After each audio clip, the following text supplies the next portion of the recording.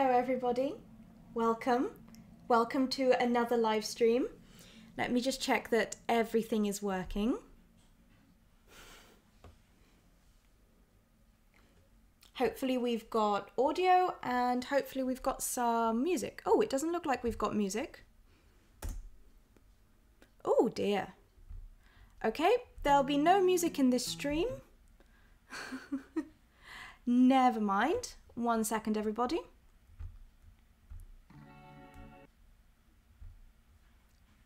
Oh, once again, we're starting off with technical issues. In case you're wondering about what's happened, my music player crashed and is not being helpful.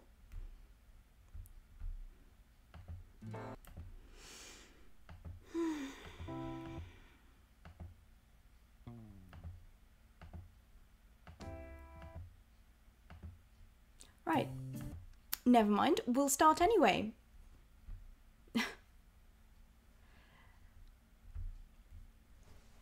Hello and welcome to a Millinery Studio live stream. My name is Ilona, I'm a milliner based in London, and today I'm going to be talking all about my vintage hat collection.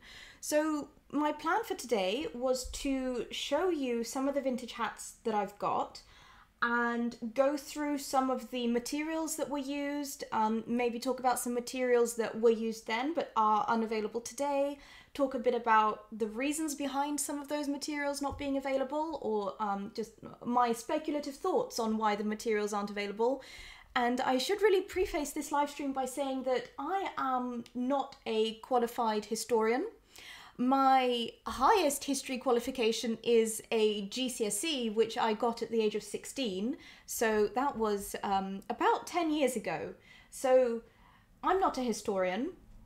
I don't know all the facts. And so this is going to be a bit of uh, more of a kind of speculation about what I think was happening in the minds of milliners at the time these hats were made. And we'll then kind of talk a bit about how those kind of vintage principles can apply to modern hat making and why they're still very, very relevant and also very interesting techniques. Um, hello, everybody in the chat. As usual, please chat to me. That's what the live streams are for. So if you'd like to um, just type away messages in the chat, I will try not to miss them and say hello to everyone. Hi, Angelus. It's lovely to see you. Thank you for catching the live stream. Um, and um, hello, baby, 1971. Greetings from Finland to all hat lovers. Hello. I think you might be my first one and only Finnish viewer. Um, apologies if that's not true, but isn't that fun? I love how I'm reaching people throughout all of the world. this is this is really fun. Um, Right, I guess I should make a start. And as usual, at the beginning of a live stream, I like to tell you a little bit about what I've done in the past week. Um, I think it's interesting for you guys to see how um, millinery studio work happens, but also it keeps me a little bit more accountable to all the things that I need to do, or things that I have done, and things that I need to get done in the following weeks and follow up on things.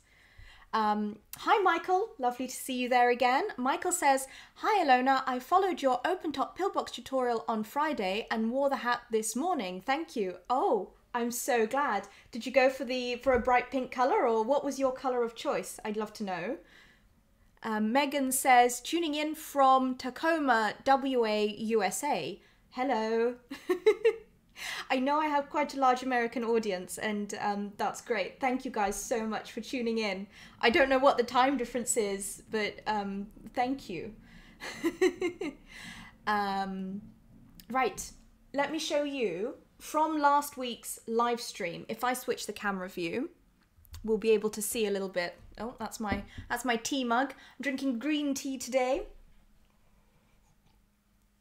This is one of my favourite mugs. It's my Ubuntu mug. Or rather, it's my husband's Ubuntu mug, but I love it because it's orange.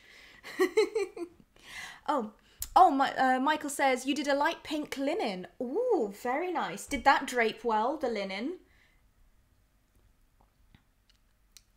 Um, Louisa says, Good day, Ilona from New York. Love all your videos. You have taught me so much. Thank you. Oh, that's so lovely to hear.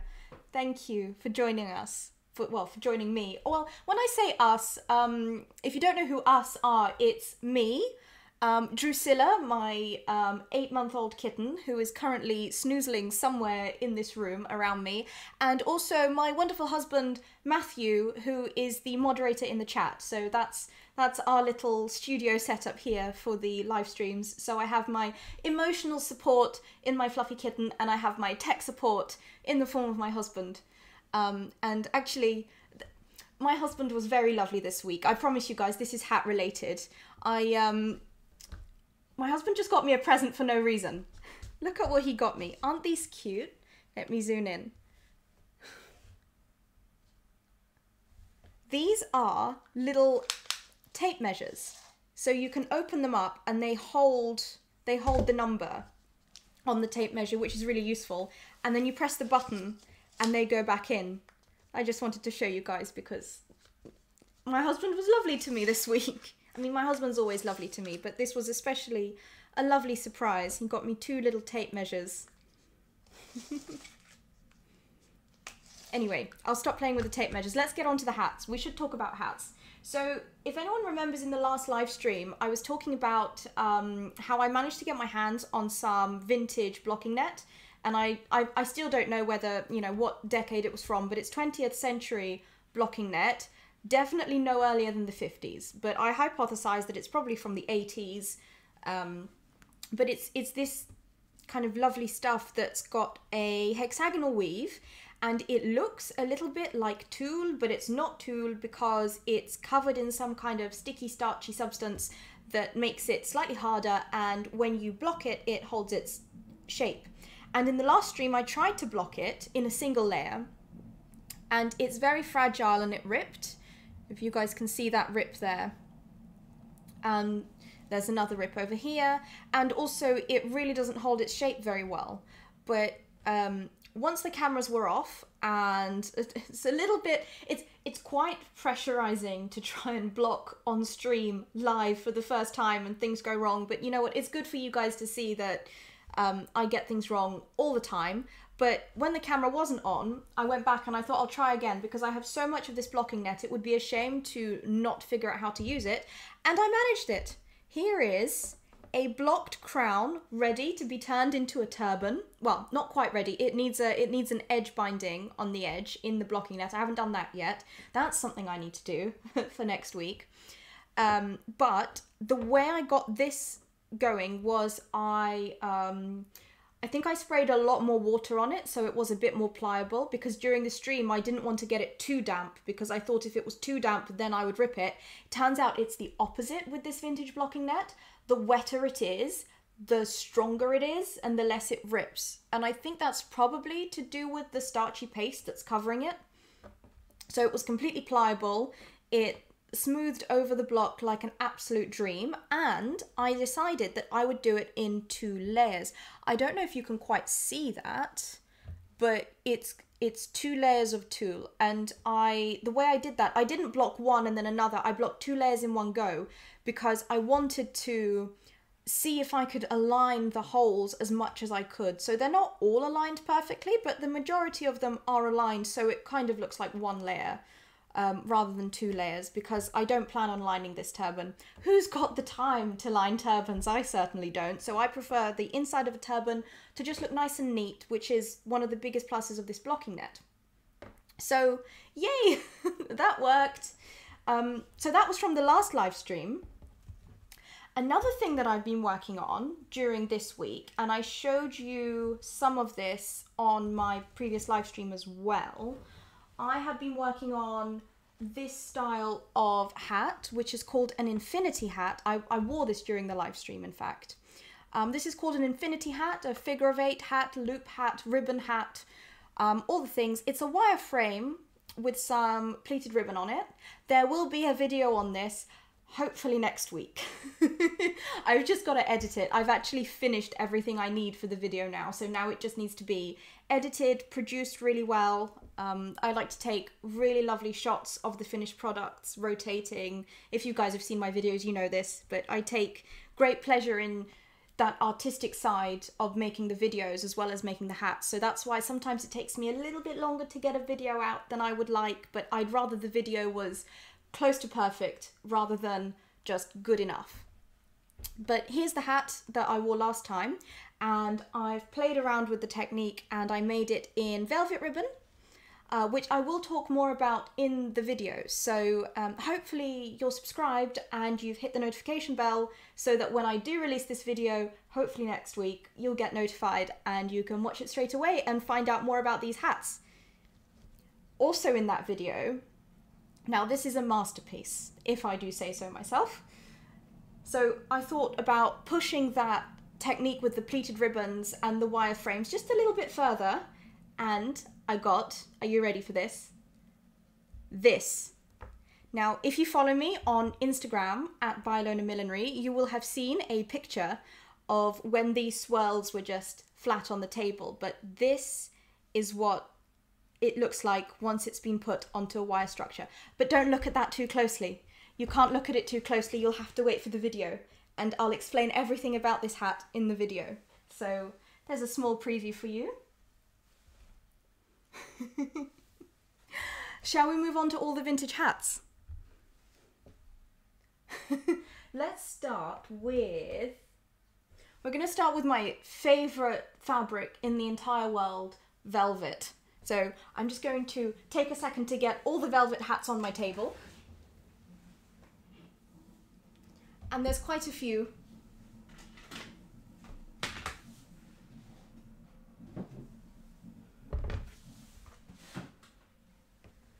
Right. First, I want to show you the hat that kind of sparked my millinery journey. This is this is the hat that made me think I need to pursue this further. And that's this one over here. Normally I wear a hat during the live streams and I'm not during this live stream because I'm going to try on all the hats for you guys so you can see how all the shapes look. Here is one of my most favourite hats. This one isn't actually vintage. Let me explain the story behind this one. So, um, I was at a vintage fair and um, there was a stall that had like really rough and kind of vintage items that were falling apart completely. So they were very cheap. And that was kind of the point of the stall. And I picked up this hat. Well, I picked up the hat that this is based on and it was being sold for really cheap because the inside of it had disintegrated the lining had um, not disintegrated but it had glue stains on it from the glue kind of seeping through after many many years. And i took it home. I wore it once. In fact i've got pictures of me wearing the vintage hat. Let me share my screen and you can see that. Oh. Where have all the pictures gone? Oh dear. Where have all the pictures gone? Right now you're seeing all my stats. There we go, pictures. Look at that. So this is what this hat looked like. Oh, you can't see it in that picture. Let me zoom in over here. That's also a very blurry picture. Let's try the next picture along. There it is. Okay, this is this is the best picture of the vintage hat, and I wish I'd taken better pictures of it. But this is the original vintage hat picture. So um, there's a couple of differences you'll notice uh, once I stop sharing my screen and show my face again. Um, the things that are missing, this loopy bow thing on the front, and some detail from this decoration. I'll explain it all in a minute. But this is what the original hat looked like. And if I switch back to, there we go, switch back to looking at my face, this is my reinterpretation of the hat.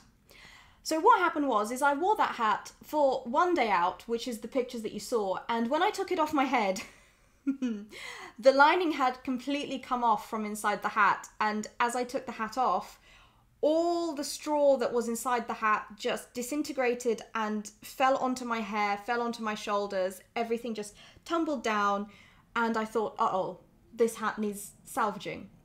Now, because the structure had completely disintegrated, there was no salvaging the hat, no point in putting in a new lining or trying to stiffen it or anything like that. So I took the hat completely apart, to see how it was made, and then I remade it into this. Now I haven't added the loop at the front because my shape is just ever so slightly different. You can see that on me, this shape goes in here, whereas the original hat did stick out a little bit more. It was more of a kind of flat edge shape just above the ears. This one isn't like that.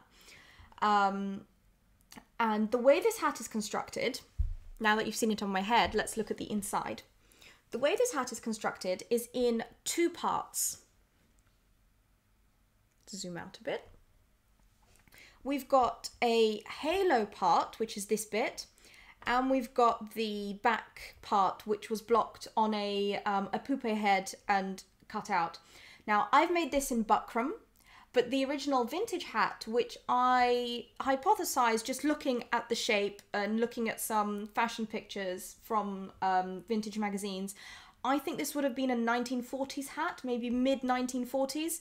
It wouldn't have been early 1940s because the early 1940s, I would say you were seeing more kind of fedoras and hats with small brims and things like that. But um, and the late 1940s, you were kind of starting to go more into the 50s styles and 50s shapes of hat, which were not like this, definitely not. So everything kind of flattened out towards the 50s.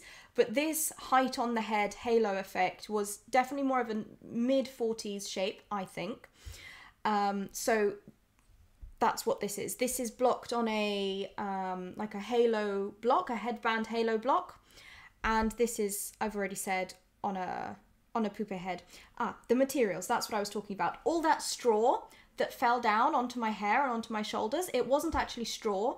I mean, at the time I thought it was straw, but now looking back and just remembering what it looked like and what it felt like, I think it would have been a um, millinery material called sparterie, sometimes called esparterie, or just uh, spartra sometimes. And what that is is it's it is a type of straw, but it's actually a grass called an esparto grass.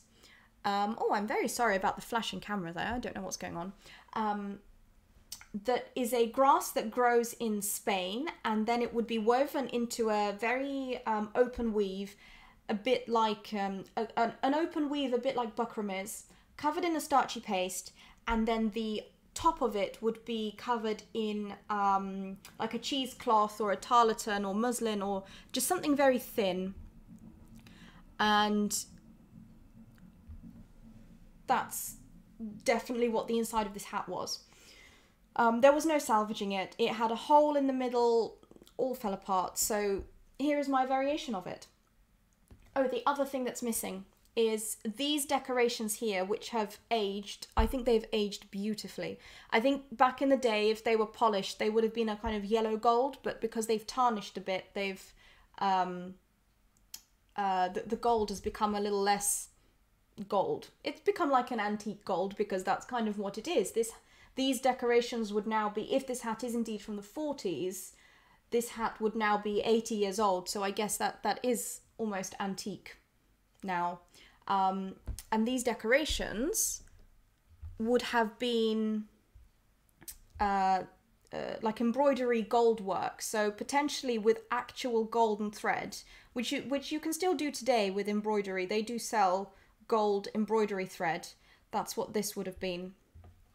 Um, and what's missing is that on the original hat, these were slightly raised up on um, an insert of sparterie that was also covered in velvet, and then these were on there. But because my hat is a bit smaller, I think, than the original, that's why I couldn't quite fit fit them on. I remember trying to and it was just a bit too fiddly and a bit too difficult. So that's this one. And it's lined in two pieces as well. So it's put together in two pieces with buckram and then it's lined in two parts as well.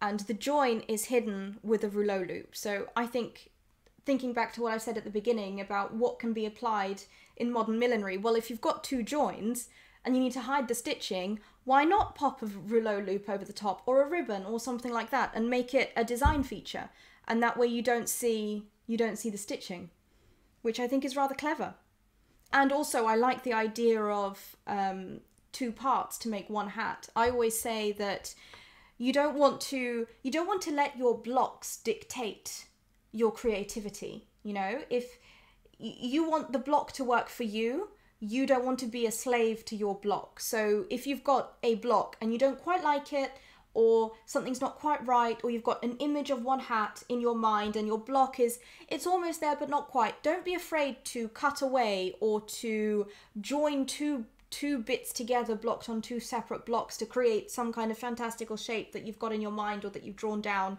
That's absolutely fine and that's really a great thing to do. So that's this hat. Although, um, hmm, I do also want to talk a bit about what vintage velvet was like because you cannot get velvet like it used to be. Um, we'll look at all the velvet hats and then we'll talk about types of velvet. Let's do it that way. So that was the green 1940s one. Now let's move on to this one. So this is what I was talking about with shapes in the 50s kind of being flatter. So this is an early 50s hat. It's very damaged, so and we'll talk about that in a second. So this is an early 50s hat. Um, I, I have seen this kind of hat shape called a clam hat because it kind of looks like a clam shell where you've got a um, technically this is a brimmed hat even though it's not a brim like you would think about it. So it's got like the center crown at the top and then you've got the clam brim which kind of goes to nothing at the back and it's kind of spreading over the head at the front and there's some feather detailing on it and a few crystals. And once again it's got a rouleau loop con- concealing the joining stitches which is clearly something that was i mean in my two hats something that is a recurring theme and i have seen it on a few other hats as well. So i think this is something that we should bring back in modern millinery. I think this is rather neat switch the camera views again and have a look a bit more closely at this hat. So this hat is very dented. The purpose of this hat is not to be worn. The purpose of this hat is for research because I want to see if I can remake this shape. Um, so as I've already said, it's got the central crown and then it's got a clamshell style brim that's not a brim, but it is a brim, but it's not a brim. And then the inside, it's actually not technically lined, I can't quite figure out what's going on in this hat. I can't figure out what it's made out of, and I can't figure out why it's made like this. But it's super hard. If I kind of poke the inside, listen to this. That is how insanely hard this hat is. I mean, like, you could probably wear it on a building site and um, it can double up as a hard hat. But don't do that. Don't, that was yes, anyway. Um, I don't think we make heart hats this stiff anymore, although I would be interested to see on how modern lightweight buckram would react to being in this hat shape. Maybe there's a reason why it's this stiff. Maybe be- maybe it has to be this stiff to hold this kind of shape, although I wouldn't think it would have to be like that today. Although I'm feeling here where the join is, and actually there's no wire there. Maybe that's why it's this stiff, because if I was using modern buckram to make this shape, and let's say I wanted to make it in two parts, I would make the top and I would make the, the brim, and if I wanted to have a join there, I would potentially be looking at putting a wire there. Did I put a wire in here? Oh no, I didn't put a wire in this join, but maybe I should have done. um, this hat is not made with a join it's just been molded. This would have been one of these really fast factory hats where it would have just been churned out in less than a day and then sold in a department store for relatively cheap. It hasn't got a label on the inside. I mean, maybe it did one day, but it's clearly fallen out. This was a very cheap eBay purchase that I do want to make a video on trying to remake it. So, once again, you're seeing a preview on the live stream. Now, the decoration, it's got a few feathers and some crystals. And they're not even good quality crystals, and they're not being held on very well, and the feathers are not. Uh, the feathers are glued on. You can see the glue residue under here. And that would have been probably rabbit glue in vintage hats. Yeah, no, it's it's it's a lovely design, but it has not survived very well. And um, I think if I was to make a replica, we would see this hat in what it was intended to look like. And that's something that I really like to do with vintage hats. And it's something that I recommend that people do when they start learning about millinery is um, a good way to learn is by copying something, but you shouldn't copy something and then uh, co- copy a modern milliner and then put it for sale because that's not right because that model is currently being sold. But if you've got a vintage hat around and you want to copy it and then you want to sell it, I personally think that's okay because you are the only seller of that style potentially. Um, but that's kind of my thoughts on this hat is that I definitely want to remake it, see what it's like, and then just play around with it. Megan says, could the beige with feathers be an early use of thermoplastics? Would someone have done that in this case, mass market? Potentially. That would explain why I have no idea what the inside of this material is because if I zoom in even more, I mean, it's got stains on the inside, it's got everything. Um, can you see what this is? This is very weird. It's almost like all they've done, I'm just going to try and, and uh, this is going to look very funny on camera, but I'm looking at this very closely.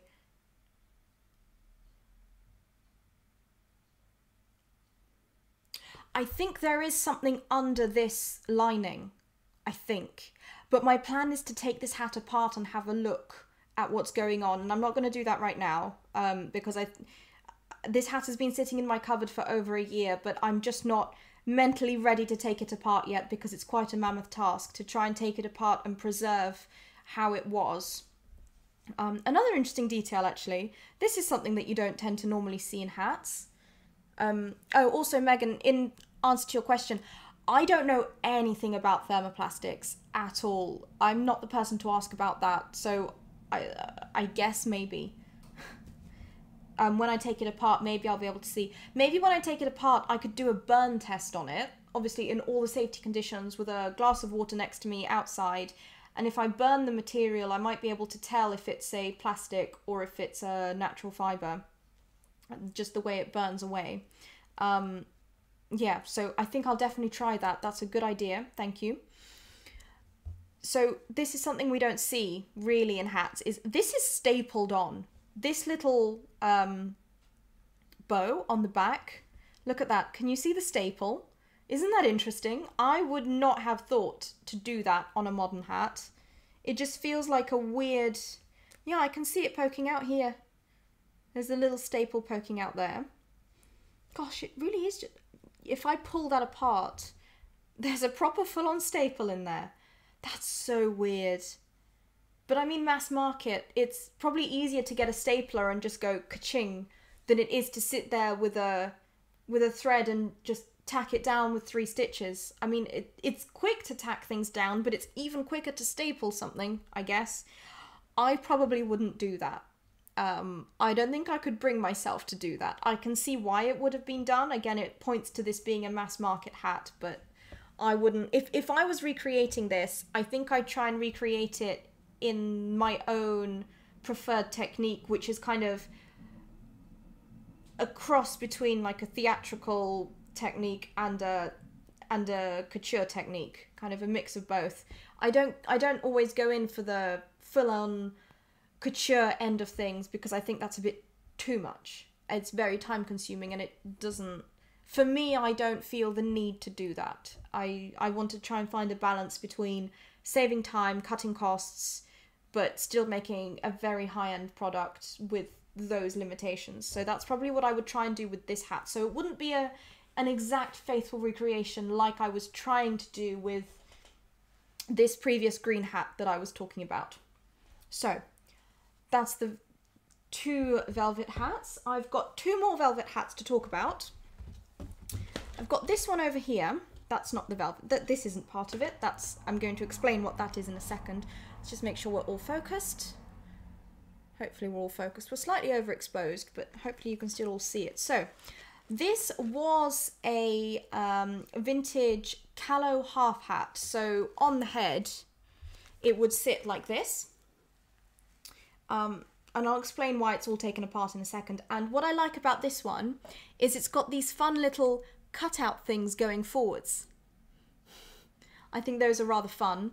Um, that's something that I do see a lot in vintage 50s hats is they were never just I mean they, there were a lot of just plain shapes but milliners at the time seemed to have a lot of fun just blocking some sparterie or some buckram on a open uh, on a plain crown block and then cutting into it making it look all interesting. Sometimes they're symmetrical sometimes they're all swirly and asymmetrical and it's still at the end of the day a calot half hat that just perches on the top of your head like this. And i think that's a really interesting thing that we could kind of bring back. And if you're struggling to start making hats because you think you need all these blocks and all this equipment and no you really don't you just need an open crown block or if you can't even afford an open crown block you can buy a 20 pound cork or polystyrene poupe head on amazon or your hardware shop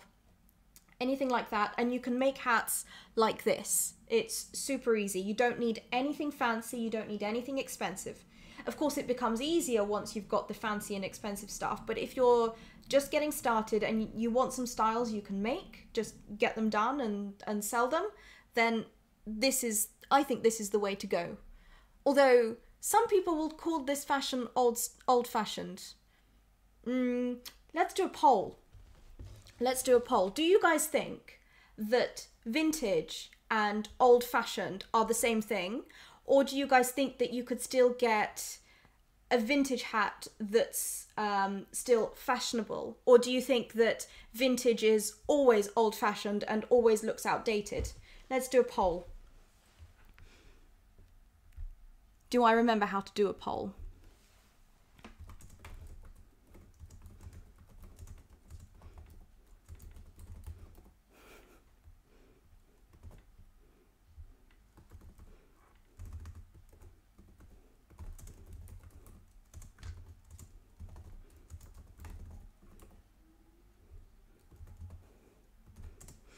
Mm, so, is vintage the same as old fashioned? The answer can either be yes, vintage equals old fashioned, or no, vintage. Oh.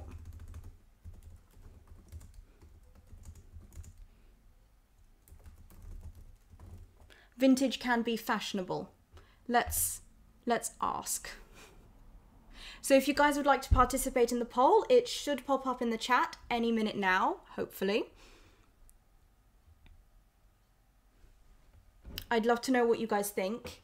I was having a conversation with a friend of mine about this, and she was saying, Oh, vintage things are always old fashioned. You can't escape the fact that vintage things are old, and therefore that makes them old fashioned. And I said to her, Yes, but you see so many trends coming and going, and vintage can be you, you can have a new and interesting spin on something that's vintage inspired, perhaps. So um, we had um, an interesting discussion last night about that. But what do you guys think? If you want to expand on the on the poll options, just uh, write something in the chat for me. I'd love to know um, about all of this.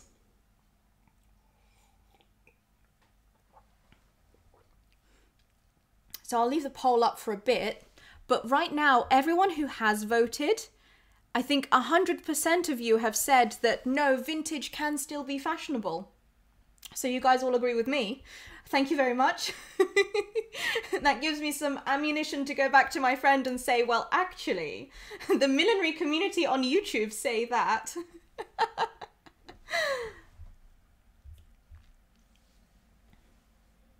Angela says vintage can be fashionable. Yeah, that's what I thought.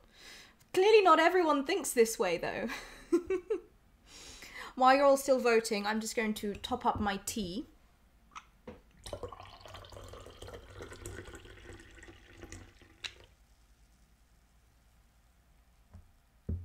Megan says, I think the half calot is a very contemporary look.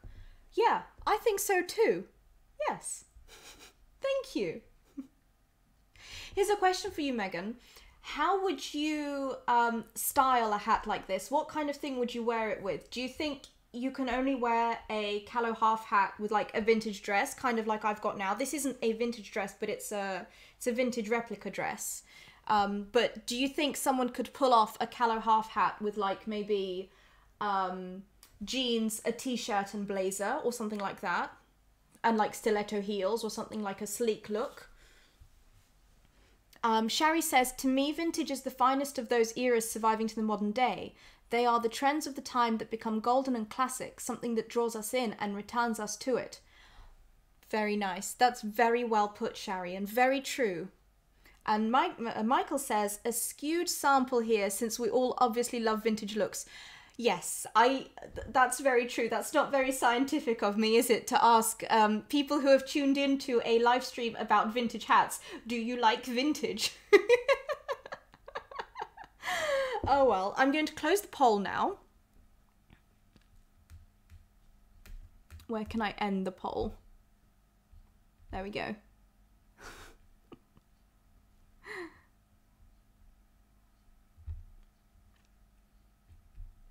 So the results will pop up in a second. so yes, 100% of you have said no, vintage can be fashionable. well, thank you for boosting my ego a little bit after after my conversation with my friend yesterday. Sonia says, I'd be totally up for a jeans and trainers look with something vintage.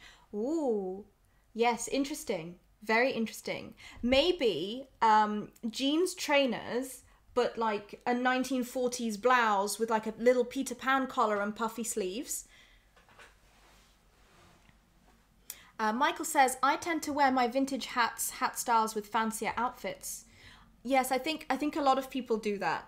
I do that as well. I'm not brave enough to try vintage hat and jeans, although now that Sonia said jeans, trainers, and vintage hat, I am keen to just maybe put it on, have a look in front of the mirror, and see what that would look like. Do you know what? Actually, after the stream, right, guys, follow me on Instagram. And after the stream, I'm going to go and put on some um, Keds, my skinny jeans, and a Calot half hat, and um, maybe a blouse or something. I'll have a look. I don't really have many blouses, but I'll try and throw together an outfit. And if you follow me on Instagram, have a look at my stories. I will um, try some things on and see what that looks like and post it there. And then you can all send me messages and tell me if you think it looks awful or if it looks interesting. okay, let's get back to the hats. So this red hat, it's completely taken apart because I wanted to restore it.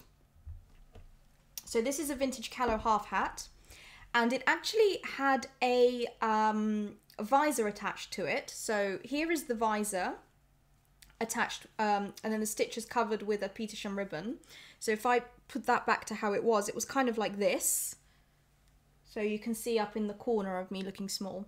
And then it had these two kind of either side over here. These little round things, which do make it look rather interesting. And then it had a bit of veiling. Let's see if I stay very still. Here's the veiling. The veiling has completely disintegrated, so there's no salvaging the veiling. But the veiling was kind of just plonked around it like this. So now if I switch camera views, hopefully this all doesn't fall off my head. Here it is. So, an interesting shape, which is why I bought it. But, whoops, um, after a few years of me wearing it, I did notice, and I, I didn't notice this before, so I don't know if I put these dents in or if these dents were there before, but there's there's a bit of dirt on it over here. You can clearly see that on the camera amidst all the red, this black spot of whatever that is. Um, I mean, these bits are stitching marks, so I, I don't really worry about them, but it's it just doesn't look as in good condition as it could and um, so I took it apart. Currently, these are just pins holding everything together, but inside here, this is a bit of buckram. If I pull it back, you can see it. And then it's got um, a very stiff layer of lining. So this is something that this hat has in common with this beige clamshell, is that the lining in itself is what's helping hold the structure. It's really, really stiff. Again, if I knock on it like on a door, oh, that's me just knocking on this hat. That's how stiff it is. Now, I haven't come across very many modern hats that are this stiff, and it's not the buckram that's giving it the stiffness. It's the, the buckram is giving it structure, but this stiffness is coming from these very very stiff linings. And i don't know what fabric this lining is. Once again maybe i could do a burn test on it if i'm totally taking it apart maybe and figure out if it's cotton or what on earth it is. I mean it's got these um, ridges through it which i think there's a vintage fabric called gabardine which was used in jackets and things. Um, it could be this because it's got a very similar te- texture but i'm not a um, I, I, I'm, I don't know textiles that well. I only know the basic ones, so I'm just guessing here. This could be anything really. All I can definitely say 100% is that it's surprisingly stiffer and more rigid than you would expect it to be. Um, so that's this hat.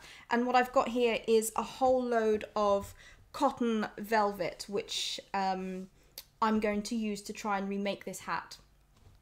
Um, so, I mean, this kind of brings me on nicely onto the other thing I wanted to talk about, which is vintage velvets and modern velvets and what the differences are. And this is very much a topic I'm very interested in exploring more, but I don't know where to find the right resources because the only thing I've managed to find out is that in the 40s and 50s there was a type of velvet called Lyon velvet made in Lyon in France and it was silk on the top, but it was very stiff in the backing.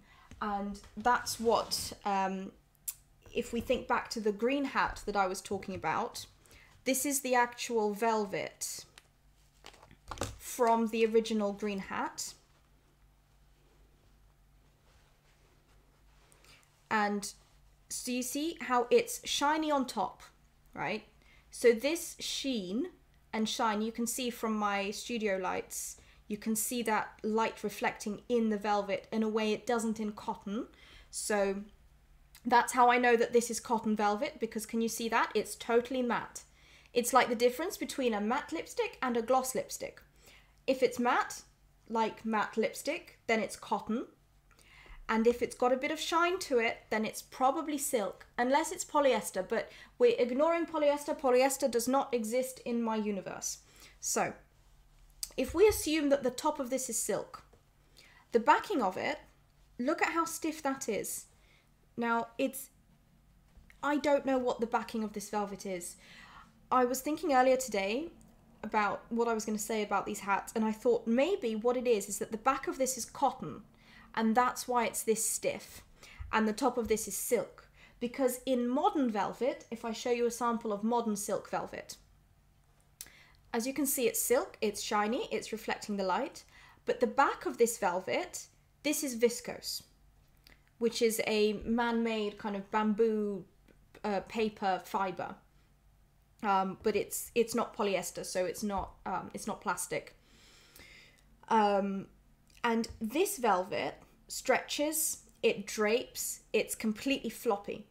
Whereas the vintage silk velvet that has whatever this is as a backing is very stiff.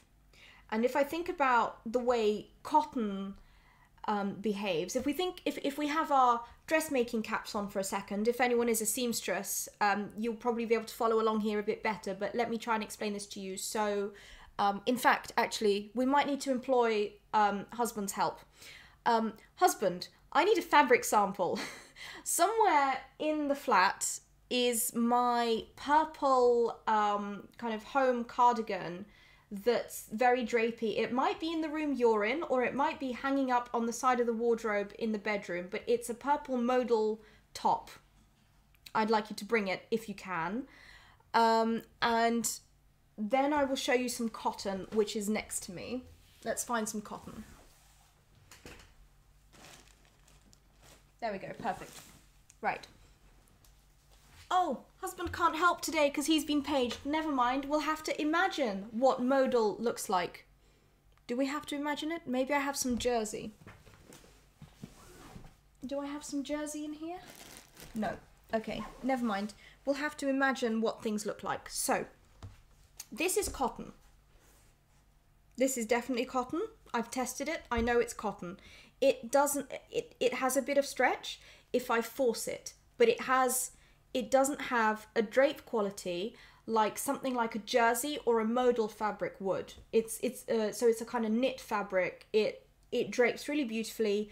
It's used in um, kind of fancy homeware or sometimes in underwear, in ladies' knickers, um, because it's got those soft qualities and drapey qualities.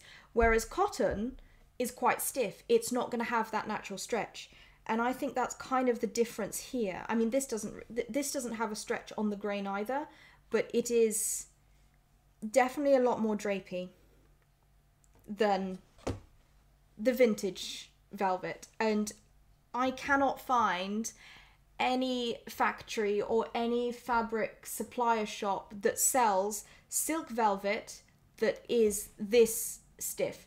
They sell cotton velvet that's stiff because it's got a cotton nap and it's got a cotton backing. So, like this red velvet here, that's going to go onto this vintage hat.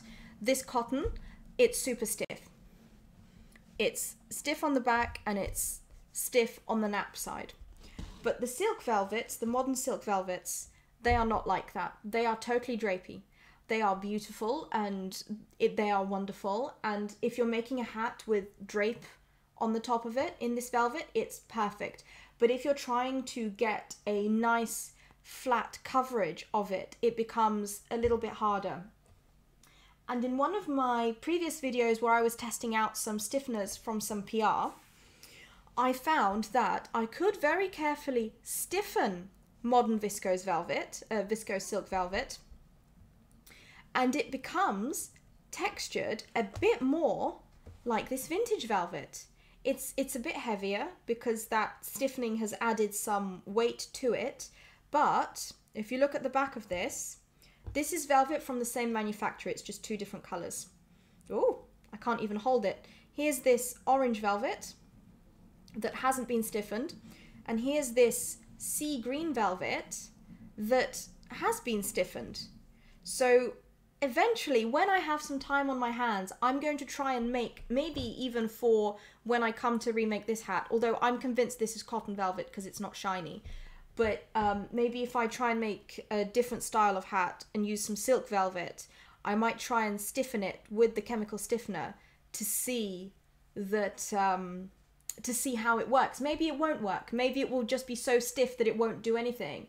But because this is the stiffener that I use with um, felt hats, my assumption is is that as soon as I steam it, it will become pliable again, and then it will um, dry and hold whatever shape it's given.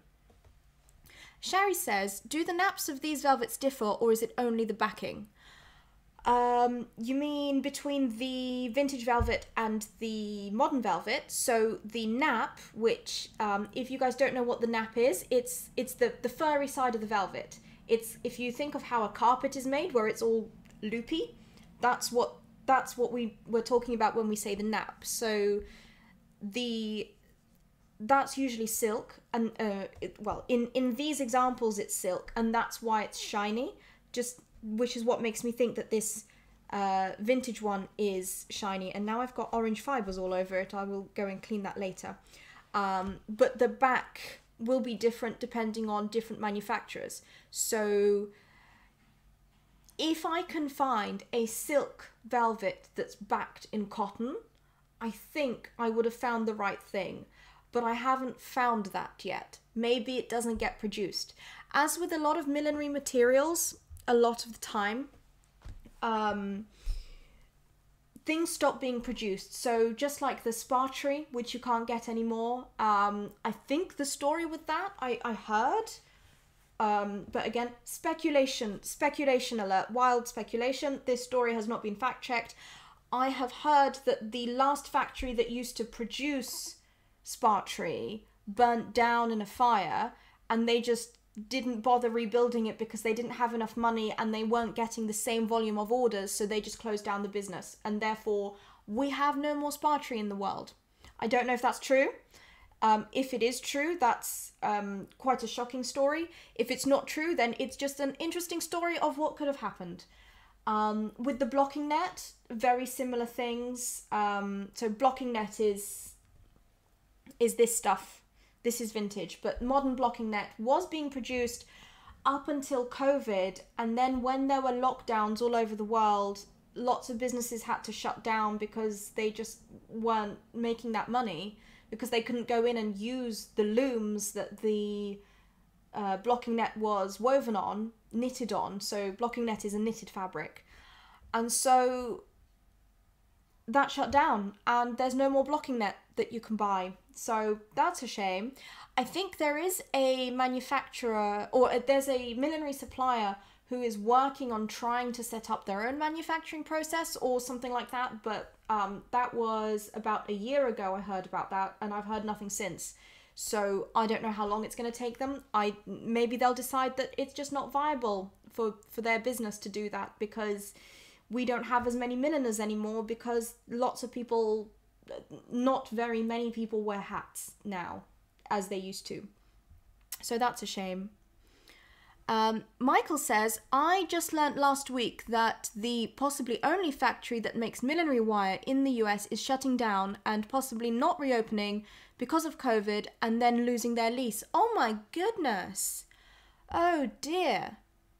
Oh, that is not good for the millinery industry. Um, gosh, if you can still use galvanized wire you can still use floristry wire. It won't be the same. So floristry wire tends to be covered in waxed paper. Uh, galvanized wire isn't covered in anything, but it should be rust proof. You could also potentially get floristry wire imported from Japan. Um, I think that would probably be your way out of everything, but that's going to be incredibly expensive. And then the price of hats, the end product, is going to go up, and then even less people will buy them. Gosh. Uh, Michael says we can still order from the UK. Oh, that's good. Good, good, good. I don't know about millinery wire production. That's something I haven't looked into. I don't know if we have factories in the UK that do it. Oh dear.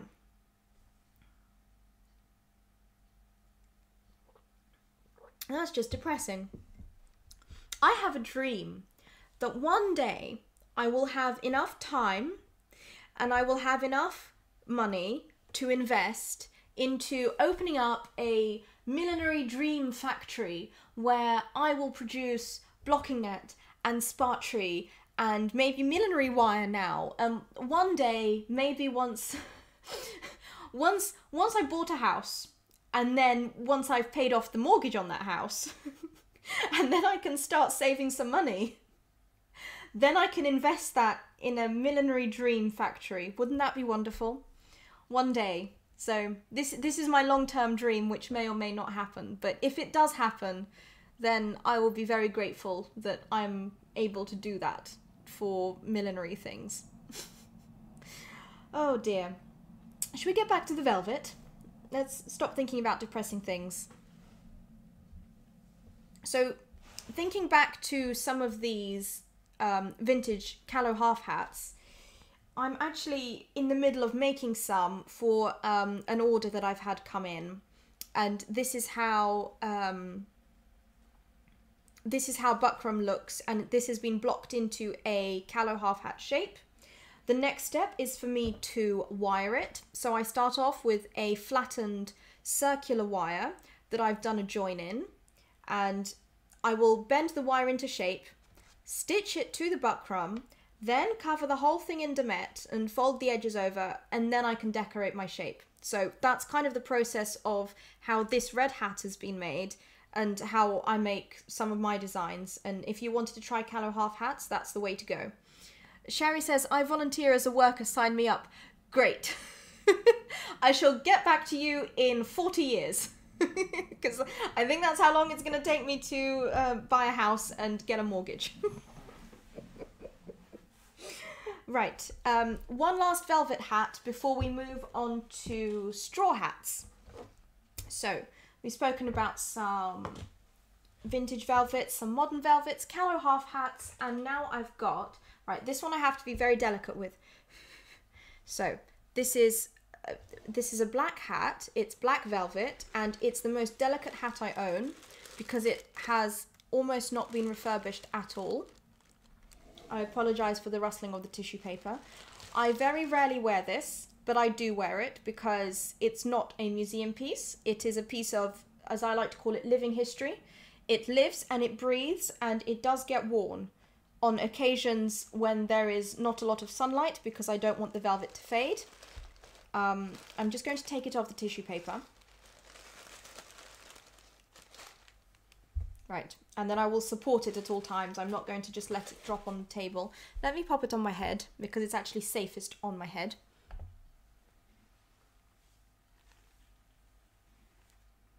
If I if I was blonde, you'd be able to see the design much better. But here it is. It looks a little bit weird um, just because it is a bit misshapen, but I really love this design and this is on my list of hats to recreate so that the design itself can carry on living and then I don't have to feel bad about wearing this one so much in case it gets damaged because I know how to make it and I have backups. Now this one is also from the 1950s, late 50s, I would say, because again, we've gone flatter, but we're not quite into the 60s. Uh, we'll, we'll move into the 60s with my straw hats, but still we're very much in the 50s. This is late 50s, I would say. So kind of maybe, maybe 57-ish.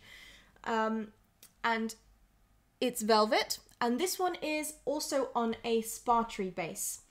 And the sparterie base in this hat has also almost completely disintegrated. I can't show you that because I relined it.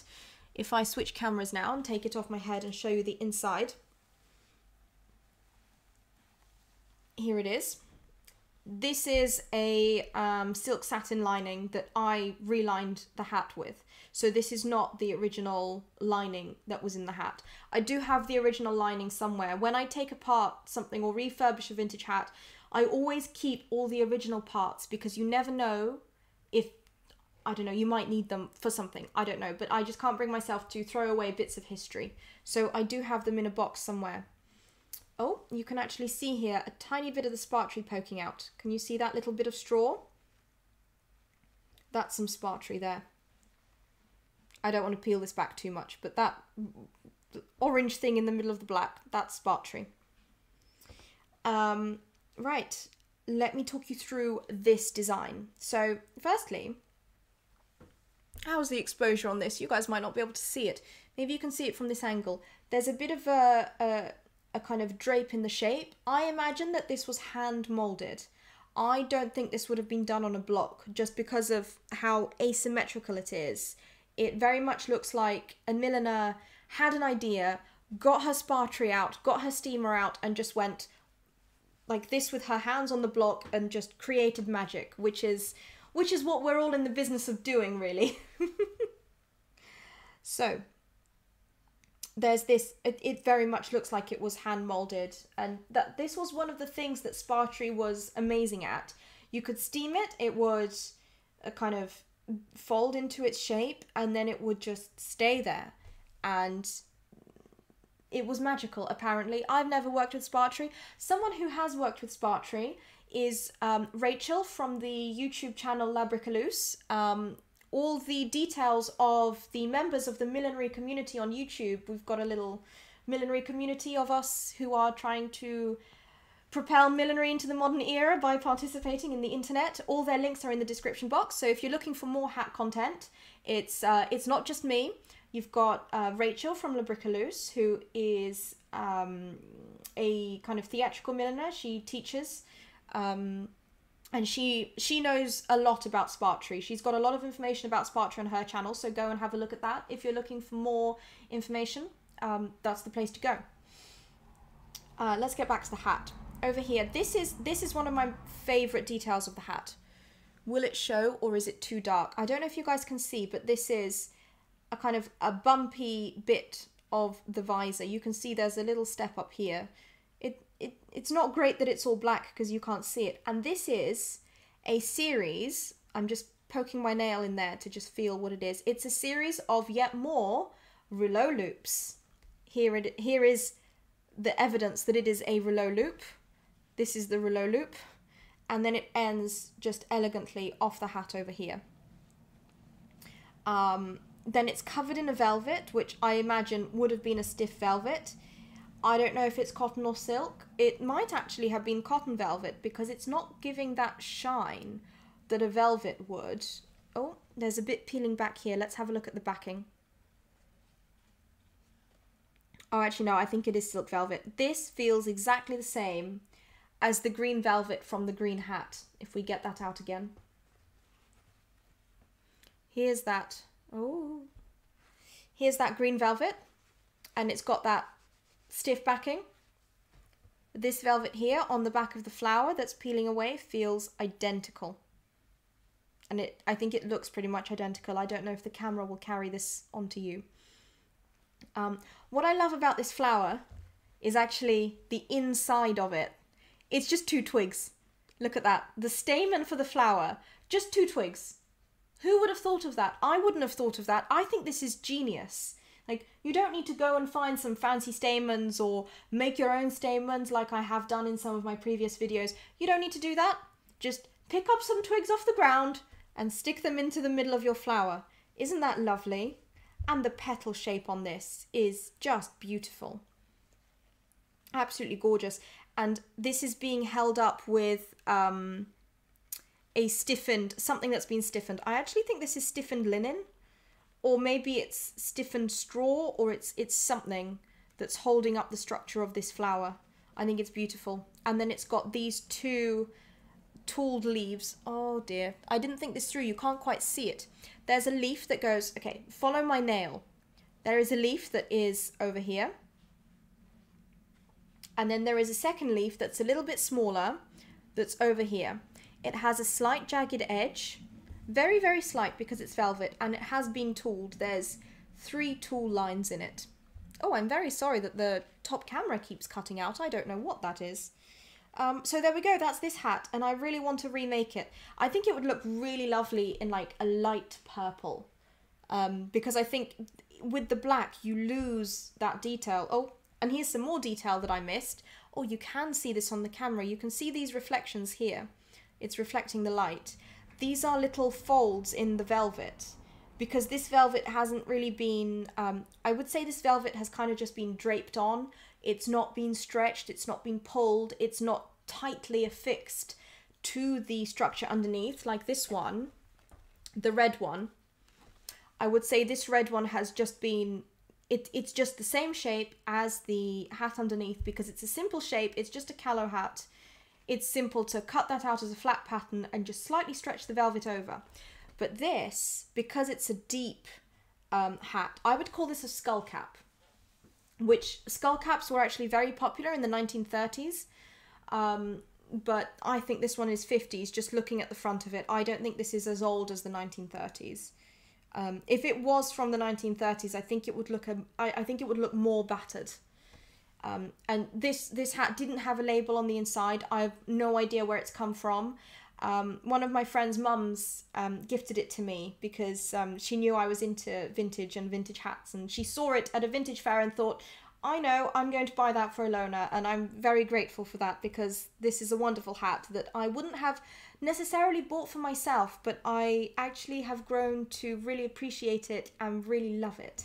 So there we go, with some little I wonder if there's some drapes under here. It looks like there are. It looks like on this side, the two leaves that I mentioned earlier are covering these pleats in the velvet. But on the other side, the bow is, I think, supposed to cover them. But it's it's interesting. It's interesting that it's symmetrical and at the same time it's not symmetrical. So if I hold it up like this, this is the front.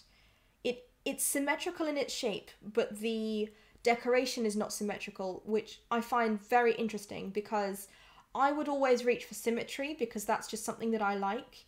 Um, and even on this clamshell hat here, you can see this is symmetrically decorated. Um, the red hat from earlier, when I put the little kind of small felt discs on it while it was on my head, you could see that was symmetrically decorated. Um, this green hat over here, it's it is a symmetrical hat in itself. It's not technically symmetrically decorated, but it's still very well balanced. But this one, it's completely asymmetrically decorated because it's got the flower and leaves on one side and then the um, velvet rouleau loop bow on the other side.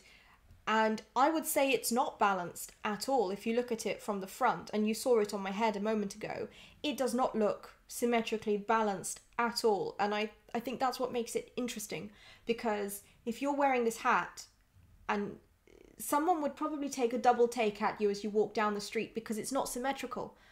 And the human eye is drawn to symmetrical things, so we kind of ignore the symmetry. But as soon as we see something asymmetrical, suddenly we go, oh, oh, what was that? Oh, it's asymmetry. Oh. Megan says, I think I have scraps of some similar silk velvet with stiff backing from a past gar- garment found in my grandmother's house in the late 70s, probably from the 40s or 30s. Interesting. You see, that's possibly a very similar velvet to what I'm talking about. Um, maybe if you find it, um, have a look at it again and see if it's similar to what I was describing with the green velvet. It it could well be that. And if you put it in the light and it has a shine, then it's probably silk on the front. Right, I'm going to gently pop this hat away. There's nothing more to say about it.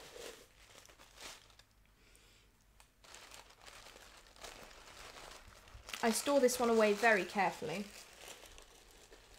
Right, we're about halfway through the stream and halfway through my hats. I'm going to turn on the intermission um, and take all these velvet hats off my head and uh, off my table and replace them with some straw hats. So see you guys in two minutes. Have a cup of tea, take a break.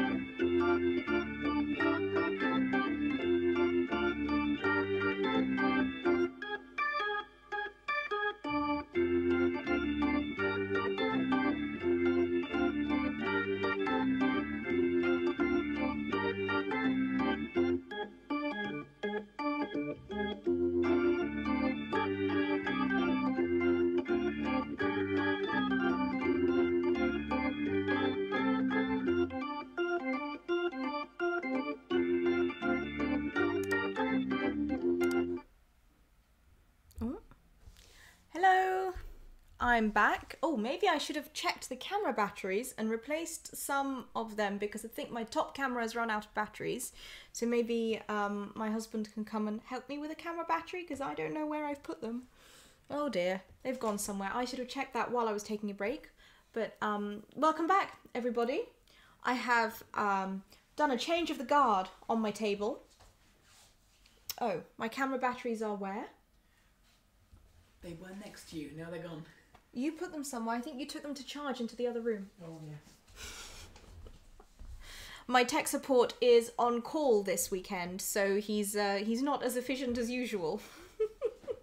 Thank you, my darling. right, let me just switch the camera battery. Oh dear.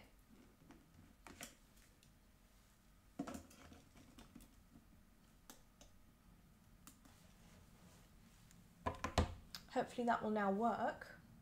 Yes. Wonderful. So, welcome back everybody. I hope you've had a pleasant break.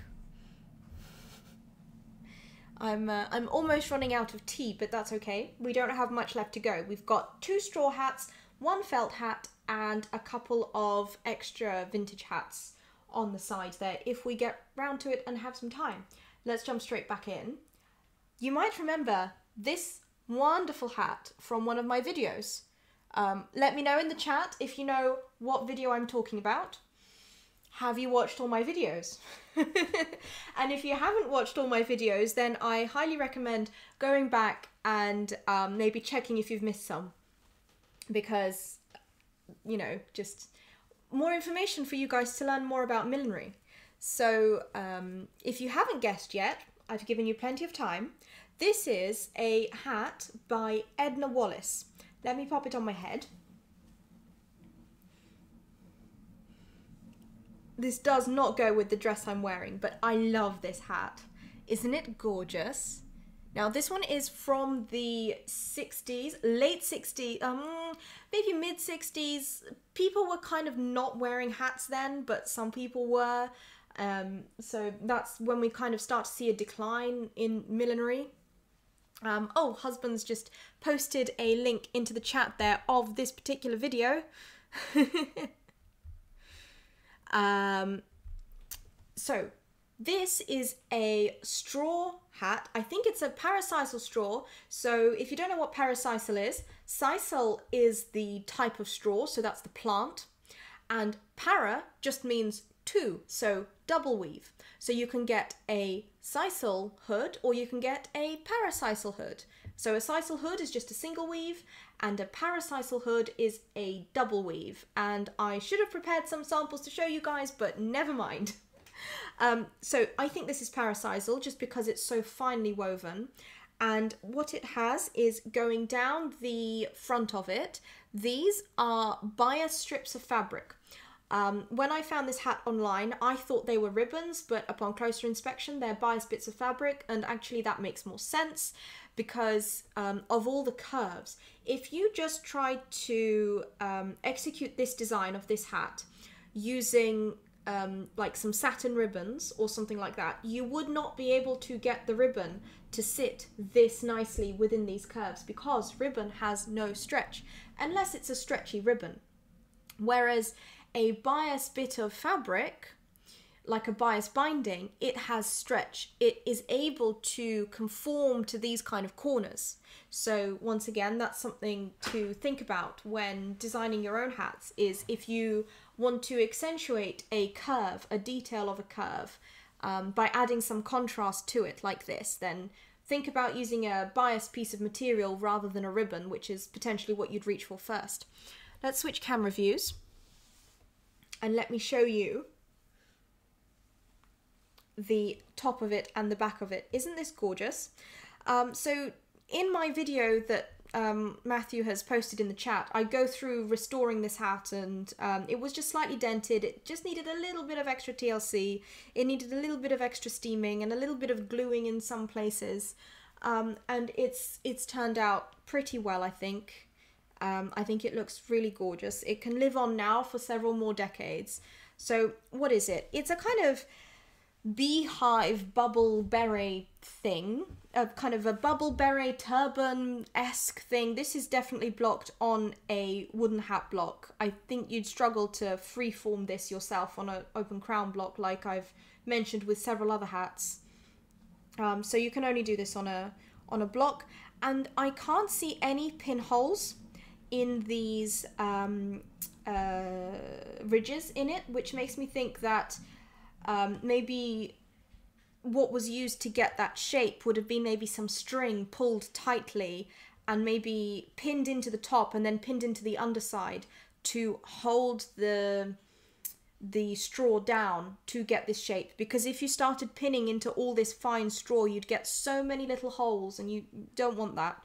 Um, I mean, who knows? Maybe this ribbon is covering a multitude of sins, but I don't think so. I think this has definitely been held in place with something and not pinned into. So that's another way to use blocks. Um, so I've mentioned already these bias bits of ribbon. It, it is essentially bias binding. Look at that. You can see this this kind of whole uh, unfolds like that, and you can see inside it's bias binding. And then it's got these loopy things, which I love. Um, so this bit of straw here, it's been machine stitched flat. So it's essentially a bit of someone's gone and turned a bit of straw into a piece of bias binding and stitched it down to the same width as the red.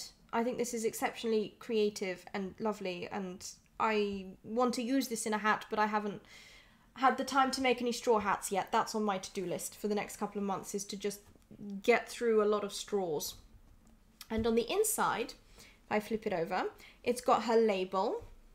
So Tricky by Edna Wallace.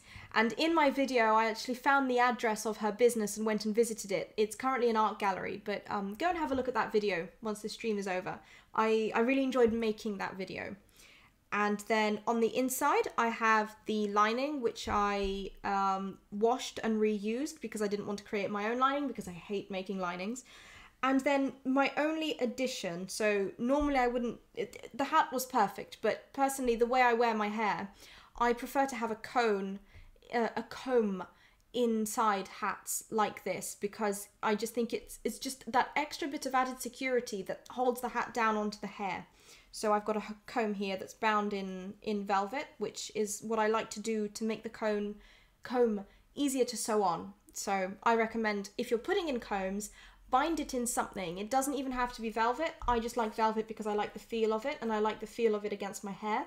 But you can use a piece of Petersham ribbon to bind the top or a piece of bias binding, cotton, anything really. Anything works.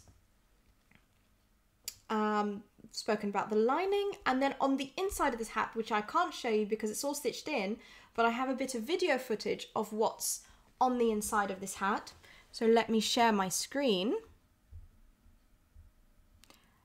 here is a little bit of video footage of what's on the inside of this hat. Let me just play it. So, can you see that? Look at what that material is. Can you guys guess what that inside of that material was? Let me rewind back a bit and show you again. In fact, let's just slow it down a little bit so that you get to see it more. Let's play that back pay close attention to what what this material over here is. What's this on the inside of the straw?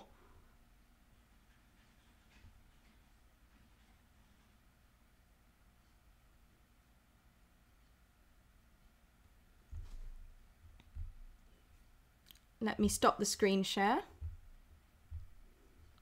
So, yes, Shari, it is blocking net.